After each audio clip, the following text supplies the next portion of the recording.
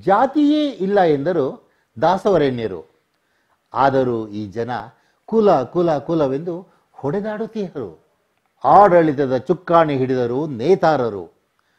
ಅವರ ಕಣ್ಣಿಗೆ ಬೀಳದ ನಾವು ನತದೃಷ್ಟರು.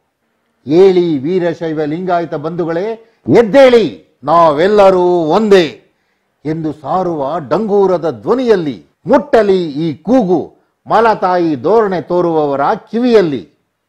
ನಮಗೂ ಮೀಸಲಾತಿ ಬೇಕು. ನಮಗೂ ಮೀಸಲಾತಿ ಬೇಕು. ನಮಗೂ ಮೀಸಲಾತಿ ಬೇಕೇ ಬೇಕು.